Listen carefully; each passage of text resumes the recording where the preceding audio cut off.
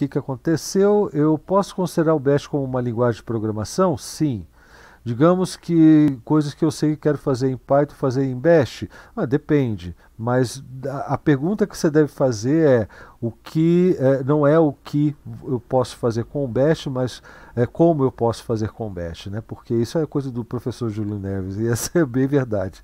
Dá para fazer o que você quiser. Agora você não, você não vai esperar limitações, você vai esperar formas diferentes de resolver os problemas. Porque o Bash, apesar de ser uma linguagem, ter toda uma estrutura de linguagem, ele é as duas coisas. Ele é um interpretador de comandos e é uma linguagem.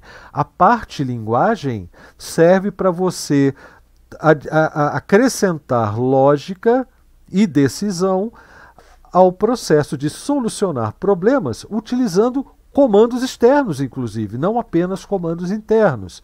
Então, você pode imaginar que o Bash é uma linguagem de programação que tem uma biblioteca infinita para resolver uh, uh, problemas específicos, porque bibliotecas, as bibliotecas do Bash são cada um dos programas e linguagens que você tem à disposição no seu disco, no seu sistema operacional. Tudo que está lá pode ser controlado, manipulado, automatizado pelo shell, tá? inclusive o bash.